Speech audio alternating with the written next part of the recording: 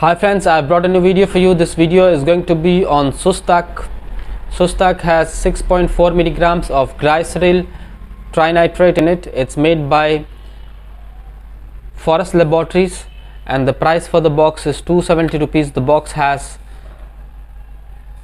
30 sustained release tablets in it. Nitroglycerin subling- sublingual tablets are used to treat episodes of angina, chest pain in people who have coronary artery disease, narrowing of the blood vessels that sup- supply blood to the heart. It is also used to uh, just it is also used just before activities that may cause episodes of angina in order to prevent the angina from occurring nitroglycerin is in a class of medications called vasodilators it works by relaxing the blood vessels so the heart does not need to work as hard and therefore does not need as much oxygen. Nitroglycerin comes as a sublingual tablet to be taken to be to take under the tongue. The tablet is usually taken as needed either 5 to 10 times before activities that may cause attacks of angina or at the first sign of an attack. Follow the directions on a prescription label carefully and ask your doctor or pharmacist to explain any part you do not understand.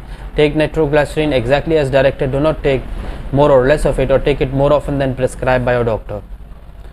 Nitroglycerin may not work as well after you have used it for some time or if you have taken many doses. Take the fewest tablets needed to relieve the pain of your attacks.